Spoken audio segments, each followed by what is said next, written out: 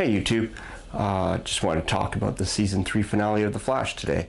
Um, overall, I gotta say I was a little underwhelmed by the episode. It wasn't a bad episode by any means. It's just that I felt that compared to the previous episode, it really, yeah, it just didn't hold up as well. Essentially, it was two episodes tonally. Uh, what I mean by this is, is that uh, half the episode is spent trying to like sway Savitar over, and then the other half of the episode is trying to um, stop him before uh, the paradox wave catches up to him and erases him. The reason I think that the the previous episode was a stronger episode is, is that it was action packed. It was um, it was a race to the finish line, literally. Like this episode was titled "Finish Line," and I get they named it that way because of um, the, in the end of this episode, uh, Barry goes into the Speed Force. So essentially, he's reached his finish line. He's dead. Uh, that's yet another reason why uh, I don't think that this was a, as good of a finale.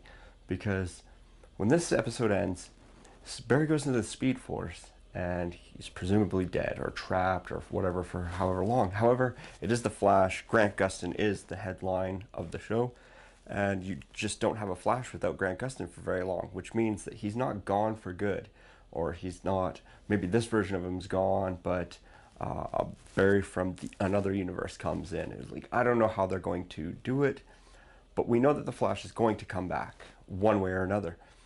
So you didn't have that heartbreaking, tear-jerking moment. Like, don't get me wrong, it was emotional, but it's not quite as emotional as ending the season on Iris's death, which ended up being HR. But I mean, the, even so, the impact of that moment was far greater that episode led up to that moment.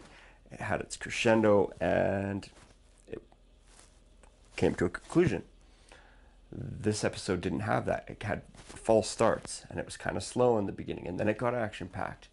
Um, some of the cool things about this episode though was uh, I loved Barry taking over Savitar's suit. To see him in that suit was just badass. Um, I wish he hadn't destroyed it but the suit is just too overpowered. And if he had kept that suit, it just would have it would have been made things too easy for him in future episodes.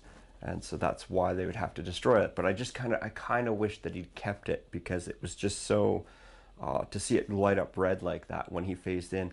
Uh, in all honesty, part of me thought that when he phased into that suit, that he was remerging with his time remnant, uh, which would have been an interesting way to solve the problems. But then he still would have been uh, I feel like if he'd done it that way, then at least the things that Savitar did would have still happened. And I know that they say that this, they made a point in this season of saying that, you know, when somebody breaks the time law, the laws of time, that the more they break them, the less it applies. But the fact of the matter is, is when Eddie, Eobard Thawne died almost instantly when Eddie shot himself.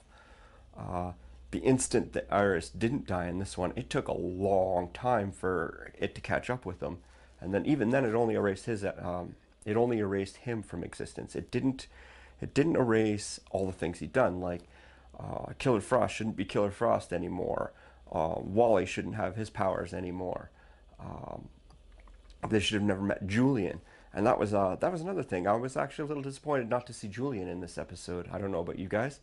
Uh, Jesse Quick would have liked to see her there, but it made sense because she was going to protect uh, Jay Garrick's Earth, and since he was stuck in the Speed Force and didn't get out until the end, it made sense why she wouldn't be there. Um, like I said, I, overall it was a good episode. I just would have preferred to see it as a season premiere, so that we ended the season on Iris's death. And oh my gosh, what is Barry going to do to come back from this? Is he going to end up becoming uh, his dark self? Is he gonna? And then after summer, we find out, haha, it was HR all along. Uh, I think that was another thing that made it um, a weaker episode for me. Is is, is that um, the Flash does a good job of setting things up, and they write well. And so, if you pay attention to things, that they didn't introduce the face changer for no reason. You know, so when you see that before and then you see them bring it up again, the only reason they would bring it up again later on is to remind you that it existed so that when HR did pull the switcheroo, that you weren't like, wait a minute, how did that happen? You know, because you'd forgotten about it. So when you see cues like that, it made it very apparent what was going to happen. Um, it wasn't necessarily going to be HR who had it, but I figured that somebody was using that face changer thing, and so I think that took away from it took away from me some of the element of the the, the suspense and the surprise and the whatever. Uh, if I'd had a whole summer to stew about it, I might have forgotten. And so when that reveal happened, it would have been like, oh, thank God, you know?